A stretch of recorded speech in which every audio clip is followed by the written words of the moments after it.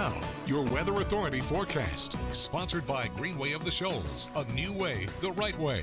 Greenwayoftheshoals.com.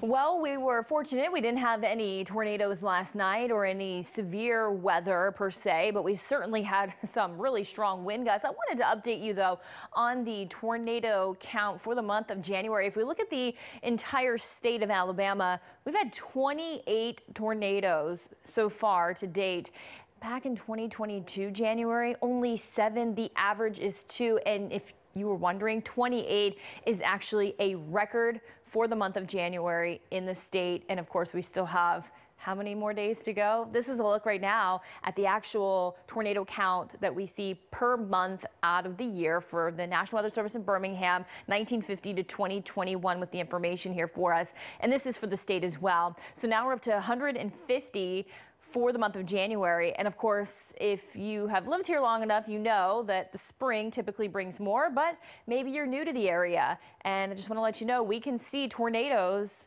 all year round. We are in a part of the country where we can get those ingredients that are favorable for severe weather to develop, even in the cold season. Well, what we're looking at Fortunately, tonight is lighter winds and tomorrow morning lighter winds too. So kids at the bus stop can expect winds around 5 to 10 miles per hour out of the northwest. It's going to be a cold start to the day too. Temperatures are going to be in the upper 30s out there, so they're going to need the heavier coats. Throughout the day, it's sun and clouds for us and winds that could gust up to 15 miles per hour, but nowhere near the 40 to 45 mile per hour wind gusts we had at times today.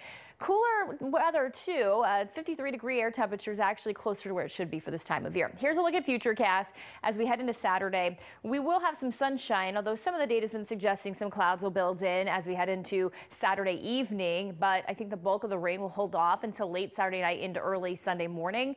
And so if you do have plans, Saturday looks good. Sunday will be the wetter of the two, the way it looks right now.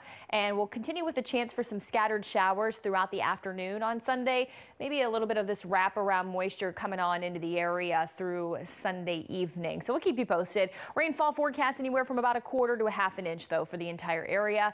And uh, perhaps you need to wash the car. I think today's a, uh, tomorrow is a good day to do it. Saturday as well, but rain does return on Sunday. We'll have a brief break actually on Monday. More rain though for Tuesday of next week. We actually carry rain into the forecast for Wednesday too. We'll have to watch that Wednesday time frame because if the air turns just cold enough when we still have some moisture in place, we could actually have a little snow mixed in with some of that rain. So we'll be tracking that forecast carefully as we get a little bit later on into the week. In the meantime, temperatures over the weekend, not bad in the afternoon in the mid 50s.